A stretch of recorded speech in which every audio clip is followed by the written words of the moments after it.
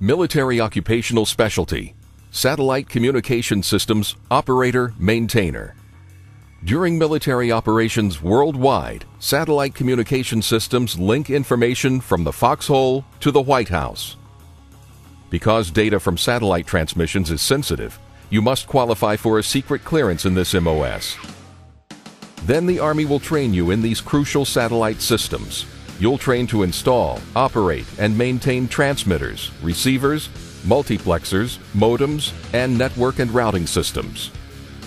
You'll train in basic electronics theory and practices, often in a computer assisted environment, and receive hands on training in equipment inspection, troubleshooting, and preventive maintenance to meet defined performance standards. You'll be taught to align various pieces of communications equipment to make operating adjustments and to measure and analyze communication signals.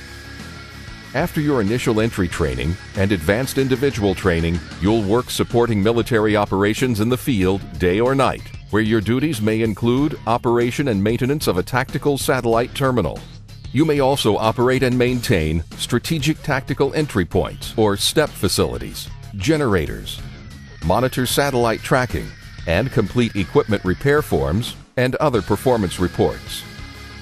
Serving in this MOS can help you transition from the military to the civilian employment sector because your skills in leadership, teamwork, and problem solving are skills and values in demand by civilian employers. The men and women in this MOS keep the Army's crucial satellite systems operating at peak performance around the world. So join us in the Military Occupational Specialty Satellite Communication Systems Operator Maintainer.